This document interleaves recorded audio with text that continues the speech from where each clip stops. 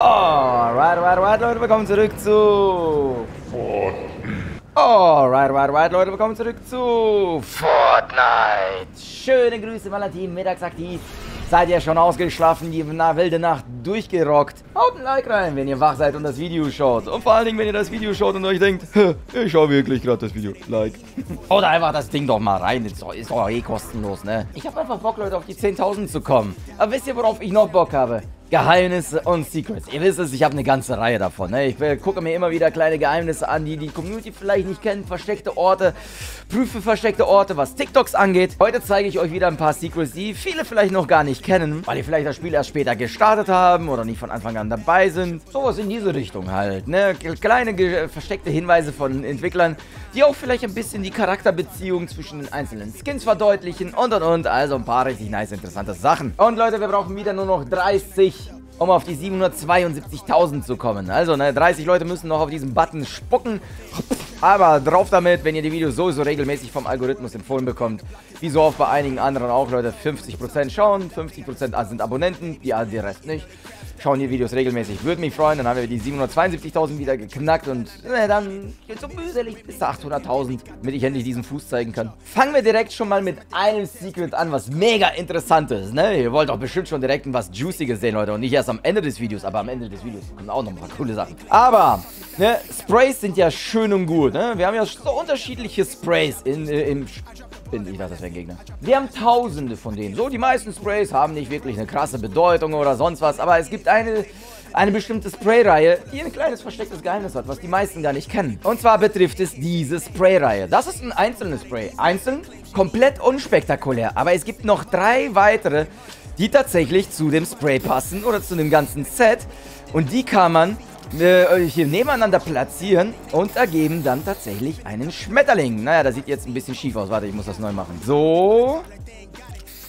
Und so. Und wenn man die Sprays so mehr oder weniger anordnet, das könnte man jetzt ein bisschen besser machen noch, ne? Ergeben die vier Sprays tatsächlich ein großes gesamtes Spray mit einem Schmetterling in der Mitte. Die vier passen zusammen. Und ich finde, das ist auf jeden Fall ein sehr, sehr nices äh, Secret, was die meisten gar nicht kennen. Und falls ihr mal eine richtig, richtig große Spray haben wollt, was richtig zusammenpasst, einfach diese vier Sprays zusammen machen, ne? Die meisten kann man jetzt nicht mehr bekommen, auf mich anzuschießen, Mann. Ich versuche den Leuten was zu zeigen. Versuche den Leuten Spiel, Spaß und Spannung rüberzubringen und ich habe nicht mal Minis. So. Siehst du, das kommt davon. Hättest du einfach mal nicht angeschossen, ne? Seien wir, seien wir mal ehrlich. Dann wäre doch alles friedlicher gewesen. Während ihr dieses Video schaut, Leute, wir zocken heute Resident Evil 8.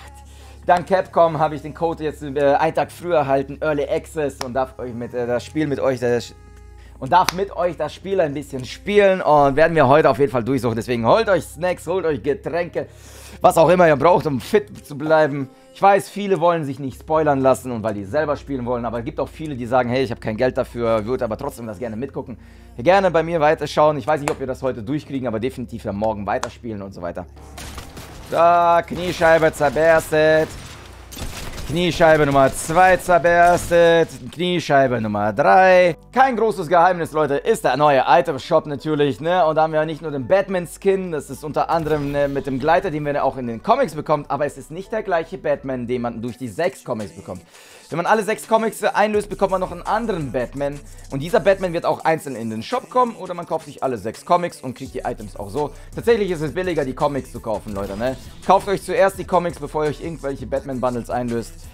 Nur so als kleiner Tipp. Und wir haben das Essenspaket jetzt auch nochmal drin. Das ist auch mega cooles Ding. Mega geile Pakete. Werden wir auch on-stream ein paar Skin-Pakete zusammenbasteln, wenn ihr euch das kauft. Tragt den Creator-Code ein, Leute. Das ist ein Secret. Dann helft ihr den Creator, den ihr dort einträgt, der euch hilft. Ne? Wenn ich euch helfe und ihr sagt, hey, ich würde dir gerne was zurückgeben. Einfach eintragen. Ihr müsst nicht mal was kaufen, selbst wenn ihr sagt, ich kaufe nichts. Würde mich freuen, wenn wir da Einträge machen. Kommen wir zu einem kleinen Secret, was die meisten eigentlich wissen sollten. Aber ich denke mal, ich habe hin und wieder schon mal ein paar Mal wieder Kommentare gesehen, wo die Leute total verblüfft waren, was die entdeckt haben. Deswegen dachte ich mir, nehme ich es mal auf. Und das betrifft den Charakter Muskelkater. Sehr, sehr beliebter Charakter, der übrigens auch bald einen neuen äh, Stil bekommt. Na, was heißt Stil? Einen neuen Skin. Und zwar als Cartoon-Version, ne? Das kommt als Cartoon-Version rein, so ein bisschen Richtung Bendy, Mickey Mouse. Wurde ja schon hier in-game angeteasert. Kommt da bald raus, aber das ist nicht das Secret. Das Secret betrifft seinen rechten Bizeps. Und zwar steht dort Lynx drauf mit einem Herzchen. Und ja, so wie es scheint, gibt es eine Liebesbeziehung zwischen Muskelkater und Lynx. Lynx, was auf seinem Arm steht, ist der englische Skinname für den Look-Skin. Und das ist die gute Dame hier. Hat er in ihrer Standardvariante auch halt Katzenohren und so weiter. Und was das Ganze nochmal ein bisschen beflügelt, warum das wirklich eine Liebesbeziehung ist, ist tatsächlich der Season 7 Ladebildschirm, der eigentlich schon relativ berühmt ist, mehr oder weniger. Und zwar der hier, ne? Das ist der Ladebildschirm von Lu äh, Lux aus Season 7, wo wir tatsächlich dann Muskelkater schon Monate vorher gesehen haben, bevor er dann das Spiel tatsächlich dann Epic auch als Skin rausgebracht hat. Aber dort sehen wir ein großes Bild von, äh, vom Muskelkater, ne? Und da sieht man auch so ein bisschen die Beziehung zwischen denen. Scheinen sich irgendwie zu mögen. Und ja, ihr werdet euch jetzt fragen, wenn Muskelkater und Lynx ein paar Pärchen sind oder sich mögen, ist dann Kid etwa der Sohn von den zwei? Ne? Und schwer zu sagen. Das kann einfach nur sein, dass sie sich nur sehr, sehr gern haben, ne? Muss ja nicht heißen, dass er irgendwie einen Sohn hat.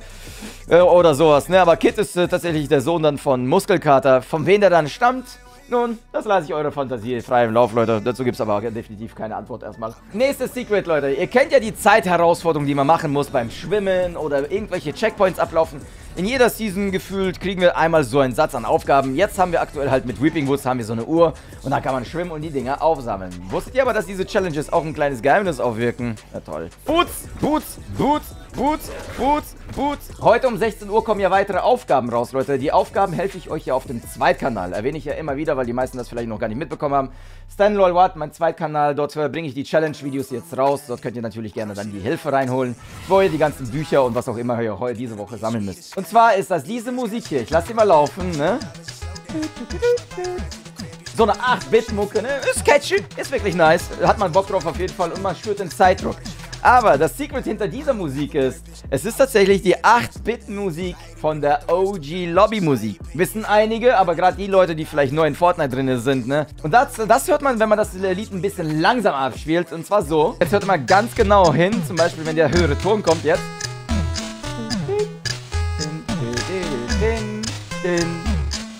Und jetzt direkt die OG-Musik. Ne? Din, din, din, din, din.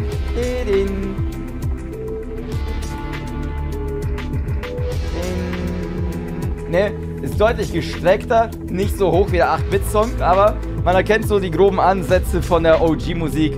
Und in der 8-Bit-Version ist das einfach nochmal alles hochgepitchter, schneller und ein bisschen kompakter ne? und nicht so langsam. Nächstes Secret betrifft unsere Lexa, die wir in Season 5 bekommen haben. An sich ein Cyborg, die sich verwandeln kann, ne? logischerweise. Hat ja auch den eingebauten Emote, aber die hat eine ganz kleine Mini-Geschichte in Season 5 erhalten, die eigentlich ziemlich offensichtlich ist, aber wenn wir schon über Secrets reden, packen wir die mal mit rein. Und zwar ist, wie, wie natürlich, weil sie sich verwandeln kann, ein Cyborg und auf ihrem Arm sehen wir auch das Logo von Y-Labs, also Y-Labs. Ein Wissenschaftslabor, was bisher in Fortnite keinen wirklichen großen Grund hat, aber in den Item Shop kam dann noch ein zweiter Skin rein und das ist der Orin. Auch Teil des Y-Labs Rettungsteam und hier ist die Y-Labs Jägerin.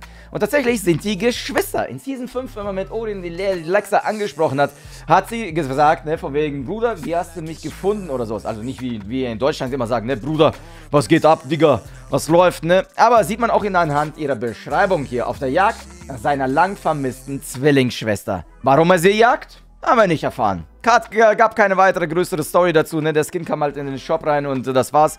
Und verbindet die zwei halt. Und der ist halt auf der Suche nach ihr, während sie geflüchtet ist, beziehungsweise angeheuert wurde tatsächlich in Season 5. Aber ja, äh, Geschwister. Und äh, irgendwas hat er gegen sie und ist dabei, sie zu jagen. Und tatsächlich ist er der mehr oder weniger, sucht er seine lang vergessene Zwillingsschwester aber gehört zum Rettungsteam, während die, die Geflüchtete ist und zu den Jägern gehört. Muss man nicht verstehen. Nächstes Secret ist ein Urgestein in Fortnite. Viele, die seit Kapitel 1 spielen, sollten dieses Secret kennen. Und es ist äh, tatsächlich am Aussterben. Es ist ein Secret, das immer weniger und weniger wird und das auch immer weniger Leute kennen. Und das betrifft diesen Fisch, Leute. Und das wissen nur richtige OGs und die Fortnite schon ewig kennen, dass dieser Fisch und auch viele andere Fische in Kapitel 1 mitgetanzt haben, wenn man getanzt hat. Ne? Die tanzen tatsächlich mit euch mit, wenn ihr einen Emote macht. Eines der letzten Fische ist in Retail Row und in einigen Gebäuden von Retail Row. Dort gibt es auch nochmal ein paar vereinzelte Fische, die an den Wänden hängen und die reagieren auch auf den Tanz. Warum das ausges fast ausgestorben ist, Tatsächlich gibt es von dem Fisch noch ein zweites Modell, was in Kapitel 2 eingeführt wurde. Und bei vielen neuen Orten, wie zum Beispiel Holly oder irgendwo auf der Straße, die glaube ich auch so ein Fisch, die reagieren leider nicht auf die Itense. Deswegen, solange Retail noch da ist, es existiert noch dieses Secret und dieses Easter Egg, aber es ist am Aussterben. Und ich bin mir ziemlich sicher, dass viele Leute, die in Kapitel 2 angefangen haben, und davon gibt es tatsächlich immer eine Menge, äh, kennen das Ganze noch nicht. Und ist auf jeden Fall auch immer wieder lustig und sollte man im Herzen bewahren, Leute. Weil das war, das war der Anfang von allen Secrets in Fortnite damals. Direkt das nächste Secret. Ich habe nicht umsonst diesen Skin ausgewählt, ne? Eco-Skin zeigt ja die äh, Kapitel 1-Karte. Die alte Map mit äh, hier Dusty Depot auf seiner Hüfte unten, ne? Mit einem kleinen Meteor, der eingeschlagen ist. Äh, links die Lava-Gegend. Sehr, sehr viele coole Details. Aber ein weiteres sehr cooles Detail ist natürlich auch die Uhr auf seiner rechten Schulter.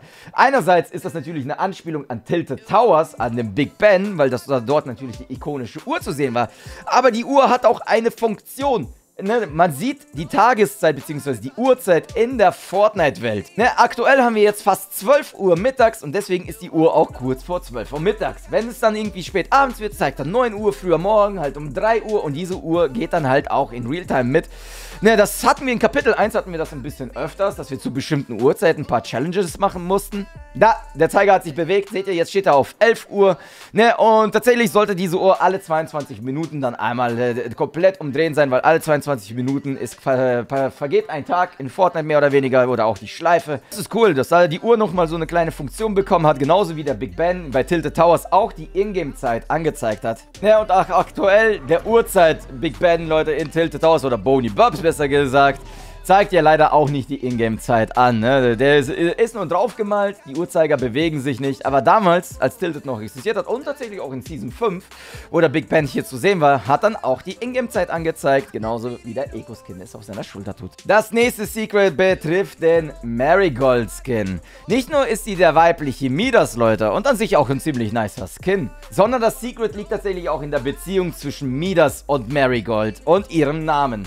Und die heißt Marigold. Und den Namen haben wir schon in Season 2 gehört, bevor wir diesen Skin überhaupt in Season 5 bekommen haben. Und zwar hat Midas sein eigenes Schiff, was in Season 2 rumgeschwommen ist, auch Marigold genannt. Eine Anspielung, weil sie seine Frau ist oder eine Geliebte. Ne, die Tochter können wir ja inzwischen ausschließen, weil Jules offiziell in Season 6 ja bestätigt hat, dass äh, Midas der Vater ist. Könnte höchstens noch eine zweite Tochter sein. Mal davon abgesehen. Aber Ne, das äh, Season 2 Schiff hieß auch Marigold und hatte nach ihr benannt. Und finde ich auf jeden Fall auch ein sehr, sehr nicer Seitenhieb, dass das dann auch drei Seasons später, wo das Skin rausgekommen ist, so noch eine Anspielung hat auf die Season 2, wo das Schiff da war. Und Season 3 dann auch, auch wenn nach Deadpool danach das Schiff komplett zerstört hat. Schreibt mal runter in die Kommentare, Leute. Hat euch irgendwas davon überrascht? Gerne reinschreiben, würde mich freuen. Wir werden gerne durchlesen.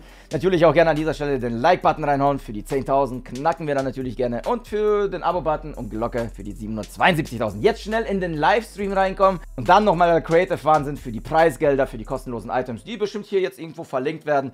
Checkt auch auf jeden Fall das Video aus mit den Naruto-Skin und den geheimen Plänen von Epic. Da sind auf jeden Fall sehr, sehr interessante Sachen bei. Und gib Flosse. Flop.